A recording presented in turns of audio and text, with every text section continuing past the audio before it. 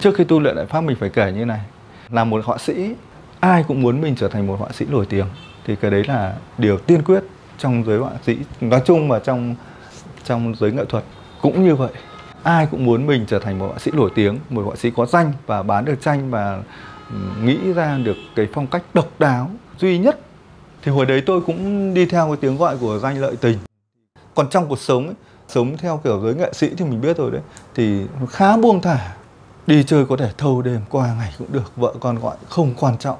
Bởi vì chúng ta bây giờ là đang hưởng thụ cái đã, phải uống rượu, phải nhậu, phải nói chuyện, phải đàn hát, phải chia sẻ đám đông các thứ. Nói chung nhiều cái nó cam dỗ mình, nó kéo mình đi. Nhưng mà thực ra hồi đấy là mình không biết đâu. Nhưng sau này khi tu luyện đại pháp rồi thì tôi mới, thì tôi hiểu được rằng là à cuộc sống không phải là là tất cả là như thế.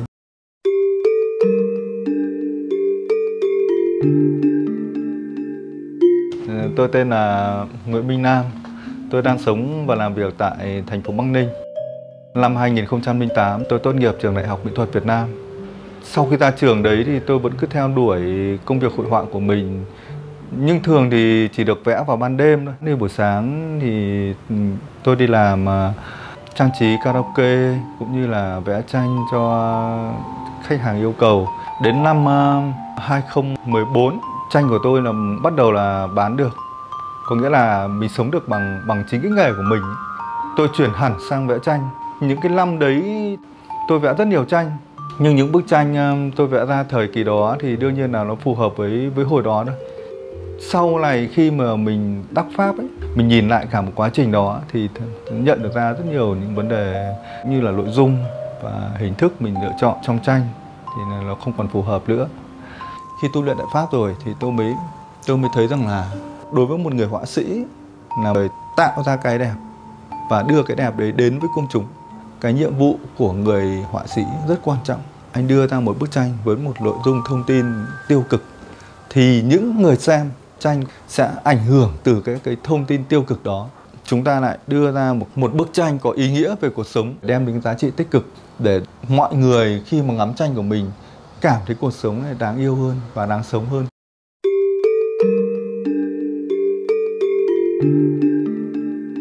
Tôi bị bệnh đau dạ dày 18 tuổi là đã bắt đầu bị rồi.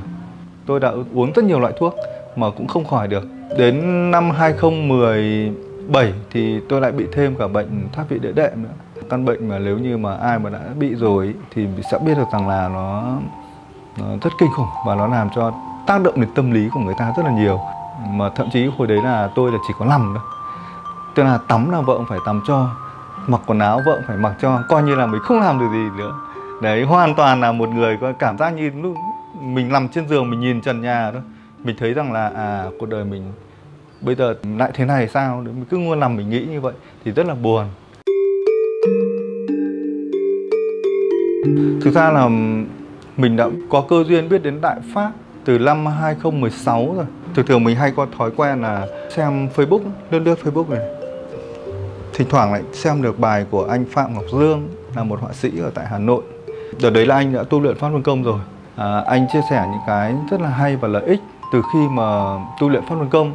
Thì mình bảo ô anh này lại tu tập cái môn pháp luân công này hay thế nhở thế sau đó là tôi mới chủ động là nhắn tin. Tức là hai anh em lại hẹn nhau tại công viên ờ, thống nhất ở bên hà nội thì anh dương có tặng tôi một cái cuốn sách gọi là cuốn chuyển pháp luân. Thì đấy là cuốn sách đầu tiên mà tôi được một người tu luyện tặng và rất trân trọng mang về đọc. Mà không hiểu sao hồi đấy nó cứ mở sách ra, chỉ đọc được vài trang thôi thì lại rất buồn ngủ. Tức là cái cơn buồn ngủ kéo đến, là mình không thể đọc được. Sao là cứ tự nhiên ngủ lúc nào không biết? Sao lại giật mình tỉnh ra lại đọc tiếp? Sao lại ngủ? Để cứ thế kéo dài trong khoảng khoảng 3 năm không đọc hết được cái quyển sách chuyển pháp luân. Cái lần đấy thì tôi cũng học được ừ, thuộc luôn cả năm bài công pháp. Trong hai buổi tối thì thuộc cả năm bài. Thì tôi vẫn tập từ năm 2016 đến đến tận bây giờ là vẫn tập. Hầu như sáng nào là tôi cũng tập năm bài công pháp. Nhưng trong cuốn chuyển pháp luân giảng rằng là nếu như mà chỉ luyện năm bài công pháp thôi mà không đọc cuốn chuyển pháp luân thì cũng chỉ là tập thể dục. Cho nên là tôi cũng thấy không, hầu như không có hiệu quả. Thì đến à, năm à, 2018 tôi phải chuẩn bị cho một cuộc triển lãm cá nhân trong quá trình tôi chuẩn bị các bức tranh để cho cuộc triển lãm được diễn ra tốt đẹp tôi cũng có phát nguyện rằng là hoàn tất cái cuộc triển lãm cá nhân này xong tôi sẽ ừ, tu luyện đại pháp một cách thật à, nghiêm túc trở thành một đệ tử Đại Pháp nghiêm túc, đạt theo đúng những tiêu chuẩn của Đại Pháp đề ra. Tôi là tu theo chân, thiện và nhẫn. Tôi tu luyện được hai tháng đầu tiên thì tôi cảm thấy cái thân thể cũng như là cái tinh thần của mình là thay đổi rất là nhiều. Trước khi tu luyện Đại Pháp thì tôi hay có những cái suy nghĩ nhiều thứ trong đầu. Suy nghĩ vu vơ cũng có mà những chuyện buồn những chuyện vui cũng có. Nhưng mà sau khi tu luyện đại pháp sau hai tháng đấy thì tôi cũng cảm nhận suy nghĩ đó tập trung và tự nhiên làm cho cái tinh thần của mình nó thư thái hẳn ra tức là không còn nhiều tạp niệm như hồi trước nữa. Còn về sức khỏe ấy, thì sau khi tu luyện hai tháng cũng như mọi lần khi vẽ xong một bức tranh là tôi phải rửa một số các cái bút mà mình đã sử dụng rồi. Rửa bút phải mất một tiếng. Thì tôi ngồi trên cái ghế nhỏ này tôi rửa bút. Trước khi tu luyện ấy, thì khi mình đứng dậy thì cái lưng rất là đau. Phải 5 phút sau mình mới đứng được thẳng cái lưng lên. Không thì nó cứ kiểu cong cong cong cong cong vì nó đau mà lại còn hoa mắt chóng mặt nữa nhưng mà khi lần này mình đứng lên mình không còn cái cảm giác đau lưng và chóng mặt như hồi xưa nữa còn ờ, bệnh dạ dày thì cũng dường như là cũng không còn những cái cơn đau rất là kịch liệt như hồi trước. Đây là một điều rất là may mắn mà mình được hưởng lợi ích từ đại pháp. Trước khi tu luyện đại pháp ấy, mình uống rượu này hút thuốc lá này. Nhưng mà sau khi mà mình tu luyện đại pháp ấy được hai tháng đấy nói riêng về hút thuốc nhé thường là buổi sáng mình hay pha cà phê này sau đó là ngồi hút thuốc ngắm tranh. Trước khi làm việc ấy thì cái hôm đấy cũng pha cà phê châm một điếu thuốc hút một hơi đầu tiên này cái hôm đó ấy, khác hẳn với những hôm khác. Khi mình hút một hơi thuốc lá vào miệng thì cái cái cảm giác cái sự hấp dẫn của của hương vị thuốc lá nó không còn nữa. Mà mình cứ nhìn điếu thuốc này mình tự hỏi là tại sao điếu thuốc này nó không có giá trị gì mà mình cứ phải hút nó cứ phải gắn bó với nó. Tức là lúc đấy bắt đầu mình nhận được ra. Tức là mình không còn cảm thấy ngon nữa. Và tự nhiên là mình cảm giác như không muốn hút nữa. Thế là tôi mới dập xuống cái cà tà này. Tôi bảo là thôi, từ nay không hút thuốc lá nữa.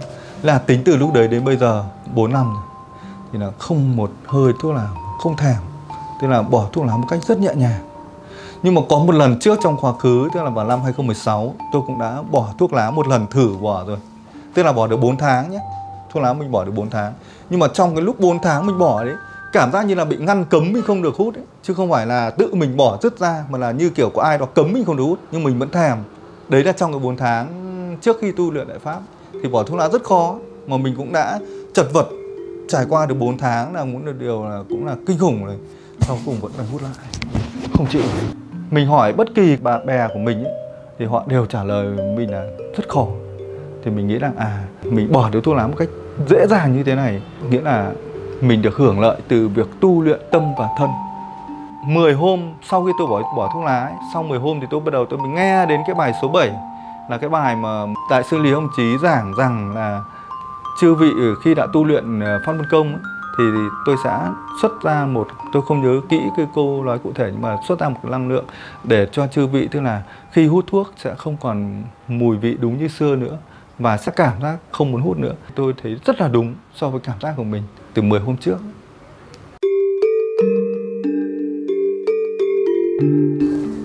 Thời gian đầu ờ, tôi tu luyện là pháp luân đại pháp. Tôi hay mở chín bài giảng của đại sư lý ông trí lên để nghe. Trong lúc mà mà tôi vẽ tranh ngày nào cũng nghe khoảng tầm hai bài sáng một bài chiều một bài. Tu luyện được khoảng tầm một năm sau một năm. Hôm đấy tôi không biết là bận cái gì không mở chín bài giảng thì tự nhiên lại thấy vợ cũng mở. Hay thế nhỉ? Tự nhiên vợ lại mở hộ mình thế là mình rất là vui sau một năm tôi đắc pháp tôi có chuyển biến rất là nhiều. Thứ nhất là về tâm tính này. Hồi xưa là mình cũng khá nóng tính. Bây giờ thì không còn nóng tính như hồi xưa nữa. Vợ chồng hồi trước thì rất nhiều những mâu thuẫn nhỏ nhỏ. Nhưng bây giờ thì cũng không còn nữa, vì ai cũng nhường ai. Bản thân tôi thì tôi tu luyện trước mà, cho nên tôi phải chủ trương là tôi sẽ nhường trước. Thì chính vì thế mà mà bây giờ những cái mâu thuẫn đó nó không còn. Tôi bỏ được thuốc lá này, ngừng uống bia, uống rượu hoàn sau đó là cà phê từ xưa là ngày nào cũng phải pha, nhưng bây giờ lại không pha nữa. Khi mà vợ tôi đã thấy được là những cái dấu hiệu đấy dần dần thì vợ tôi lại bước vào tu luyện cùng tôi.